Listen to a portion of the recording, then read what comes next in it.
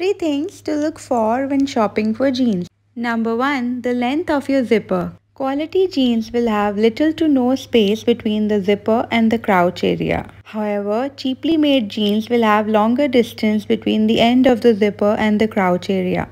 Number 2. Pay attention to the yoke on the back of the pant. The deeper the V, the more shapelier your bum will look. Number 3. Pocket size and placement. Always remember that the pockets that are placed further apart will give the appearance of a wider bum.